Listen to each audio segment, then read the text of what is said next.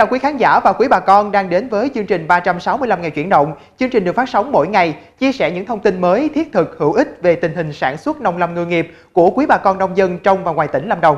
Trong khung giờ quen thuộc tối nay ngày 26 tháng 4 năm 2019, chương trình sẽ có những nội dung đáng chú ý.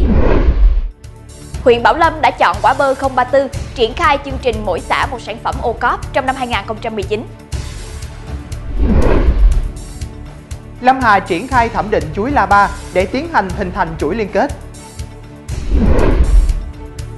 Bà con trồng dưa lê thở dài trước tình trạng dưa lê sâu bệnh, chết héo phơi nắng trắng đồng. Con số hôm nay, xuất khẩu khoai mì và các sản phẩm từ khoai mì giảm cả về lượng và giá trị. Chuyện nhà nông, chuyện về anh nông dân trẻ mê sen đá và làm giàu từ sen đá. Thưa quý vị và bà con, mở đầu nội dung của 365 ngày chuyển động tối nay, như thường lệ sẽ tiếp tục là một số thông tin về tình hình sản xuất nông nghiệp đáng chú ý trên địa bàn tỉnh Lâm Đồng. Quý vị và bà con thân mến, huyện Bảo Lâm đã chọn quả bơ 034 triển khai chương trình mỗi xã một sản phẩm OCOP trong năm 2019, phấn đấu có 3 tổ chức doanh nghiệp, hợp tác xã, cá nhân tham gia. Từ năm 2020 trở đi, chương trình OCOP ở huyện Bảo Lâm sẽ đạt một sản phẩm cấp tỉnh Lâm Đồng, đồng thời phát triển các sản phẩm mới như cà phê rang xay, tầm tơ tự dệt, chè chế biến trên địa bàn. Chủ thể thực hiện chương trình OCOP Bảo Lâm được xác định nòng cốt gồm hợp tác xã, tổ hợp tác, doanh nghiệp vừa và nhỏ, hộ gia đình sản xuất, kinh doanh những sản phẩm đặc trưng ở địa phương. Các nguyên tắc chính triển khai chương trình OCOP Bảo Lâm như quy trình đồng bộ từ khâu tạo vùng nguyên liệu, sản xuất, chế biến, thiết kế bao bì đến quản lý chất lượng sản phẩm phù hợp nhu cầu thị trường trong nước và thế giới, mở rộng xúc tiến thương mại. Được biết là kinh phí hỗ trợ từ ngân sách tỉnh Lâm Đồng cho chương trình ô cóp Bảo Lâm đến năm 2020 là 300 triệu đồng. Thưa quý bà con, ở nước ta có lẽ chưa từng có một loại chuối nào được phong vương như chuối La Ba của Tây Nguyên. Đó là giống chuối cổ chỉ có ở xứ sở của những trường ca đam sang bất tận với những đặc trưng văn hóa như nhà rông, nhà dài. Liên quan đến sản phẩm này, Phòng Nông nghiệp và Phát triển Nông thôn huyện Lâm Hà cho biết, đơn vị đang phối hợp triển khai thẩm định chuối La Ba để tiến hành hình thành chuỗi liên kết cùng với 6 mô hình khác về sản phẩm chè, rau củ quả, sữa bò, dược liệu và cây ăn trái khác.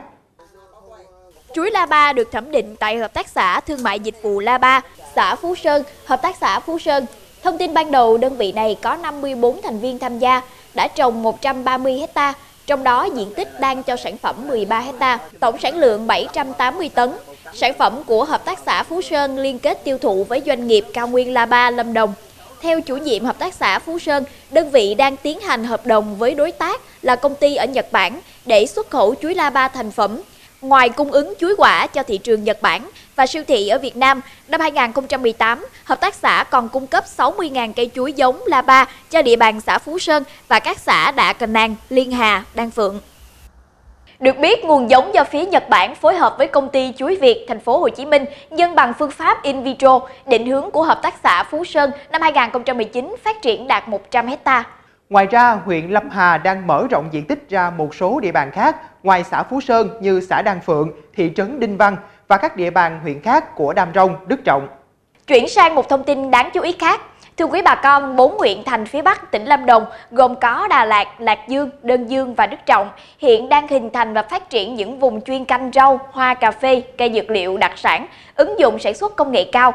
Qua đó đã tạo ra diện mạo mới, nâng cao hiệu quả kinh tế về sản xuất và thu hút khách du lịch trong nước và quốc tế đến tham quan, trải nghiệm. Đà Lạt, Lạc Dương, Đơn Dương và Đức Trọng tiếp tục phấn đấu đạt gần 26.530 hecta diện tích sản xuất ứng dụng công nghệ cao đến cuối năm 2019, tăng thêm 990 hecta so với cùng kỳ. Giải pháp chính sách hỗ trợ từ ngân sách tỉnh Lâm Đồng gồm thực hiện 10 mô hình trình diễn ứng dụng lưới che nắng, điều khiển nhiệt độ canh tác hoa, trồng rau thủy canh, tưới tự động cho cây cà phê, xây dựng 6 vườn ươm giống rau hoa, 8 mô hình IoT sản xuất quy mô trang trại, 5 mô hình kho lạnh bảo quản rau hoa, đồng thời hỗ trợ vốn cho nông hộ chuyển đổi sản xuất các giống hoa bản quyền ở Đà Lạt và Lạc Dương, sản xuất rau chất lượng Việt Gáp trên diện tích đất lúa một vụ ở Đơn Dương, Đức Trọng. Ngoài ra, nguồn vốn ngân sách tiếp tục trích chi thực hiện chương trình tái canh ghép cải tạo trồng mới các giống cà phê vối, cà phê chè với tổng diện tích 1.026 hecta trên 4 huyện thành phía Bắc nêu trên của Lâm Đồng. Xin được chuyển đến những thông tin liên quan đến tình hình sản xuất nông lâm ngư nghiệp đáng chú ý của bà con nhiều địa phương trên cả nước. Thưa quý bà con, tháng 4 là thời điểm bà con xã Diễn Kỷ, huyện Diễn Châu, tỉnh Nghệ An tập trung thu hoạch dưa lê vụ xuân.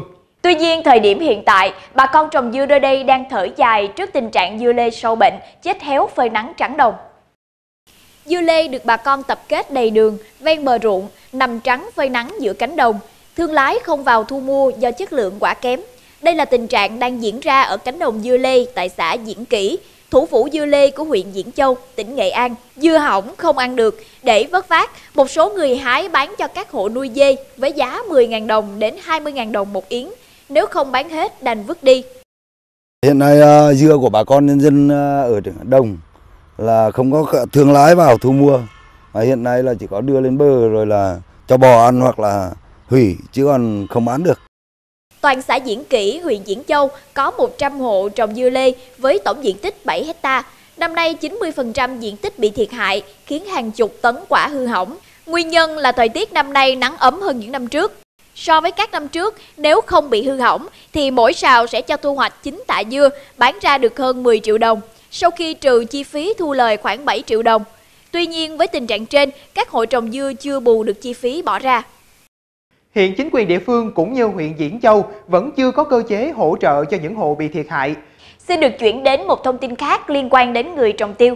Thưa quý bà con, trước thực tế người trồng tiêu đang phải đối mặt với muôn vàng khó khăn, thách thức, tỉnh Gia Lai cũng đã đề ra những giải pháp trước mắt để khắc phục và định hướng phát triển bền vững vườn cây, cũng như chuyển đổi các diện tích không phù hợp sang trồng các loại cây trồng có giá trị khác để tạo sinh kế lâu dài.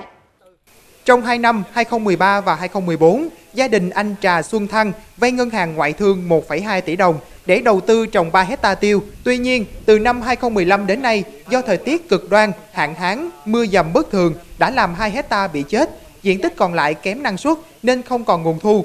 Việc trả lãi và vốn cho ngân hàng của gia đình anh gặp rất nhiều khó khăn. Ngân hàng đang có hỗ trợ, nói chung là vấn đề là lãi là bằng hàng năm đó, đóng trong tháng thì chúng tôi bây giờ trong tháng thì xây sửa cái đồng lãi nó cũng rất là, là, là khó nhưng mà dân hàng chuyển đổi lại cho người dân của chúng tôi ở đây á, thì nó là đáng vào cuối kỳ trong năm. Theo Ngân hàng Nhà nước chi nhánh tỉnh Gia Lai, tổng dư nợ mà người dân trên địa bàn tỉnh Gia Lai vay trồng và chăm sóc hồ tiêu là trên 4.000 tỷ đồng với hơn 26.000 hộ vay. Trong đó 2.200 tỷ là khoản vay nợ xấu.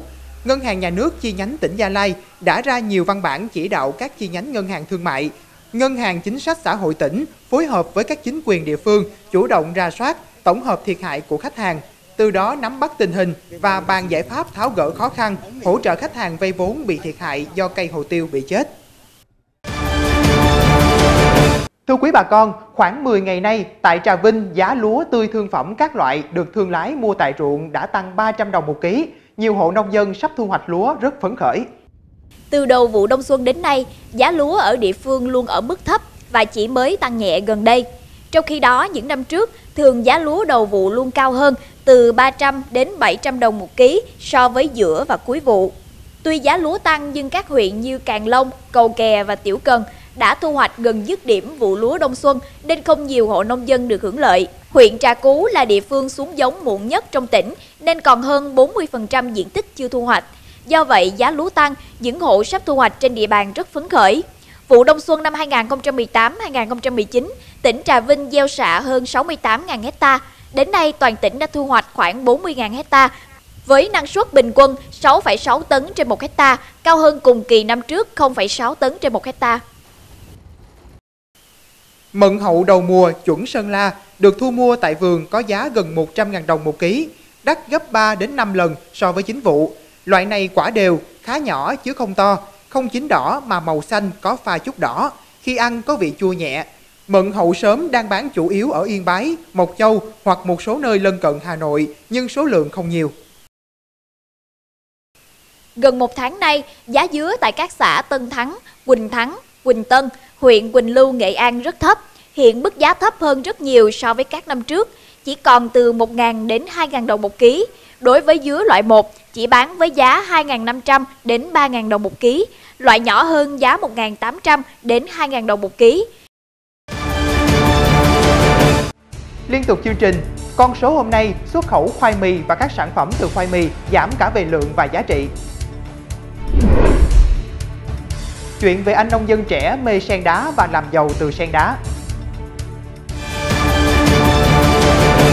Quý vị và bà con đang theo dõi chương trình 365 ngày chuyển động và trong nội dung tiếp theo mời quý bà con đến với chuyên mục con số hôm nay. 678,51 nghìn tấn, đây là lượng khoai mì và các sản phẩm từ khoai mì xuất khẩu tính lũy kế 3 tháng đầu năm nay.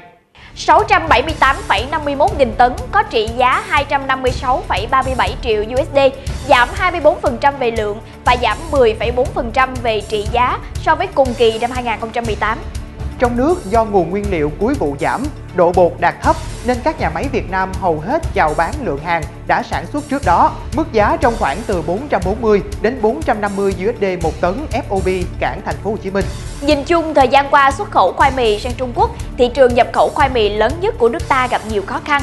Nhu cầu nhập khẩu khoai mì và các sản phẩm khoai mì từ Trung Quốc giảm, Tuy nhiên, Trung Quốc đang thực hiện kế hoạch thúc đẩy mở rộng sản xuất và sử dụng ethanol với mục tiêu sử dụng 10 triệu tấn ethanol vào năm 2020 sẽ đẩy nhu cầu khoai mì tăng gấp đôi dự kiến, tỷ lệ 2 đến 2,3 kg khoai mì cho 1 lít ethanol.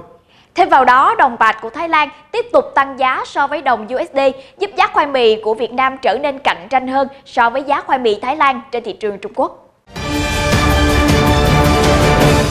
Thưa quý bà con, nội dung tiếp theo của chương trình sẽ là thời lượng dành cho mục chuyện nhà nông, chia sẻ những câu chuyện đáng chú ý xung quanh hoạt động sản xuất đáng quan tâm của bà con trong và ngoài tỉnh Lâm Đồng.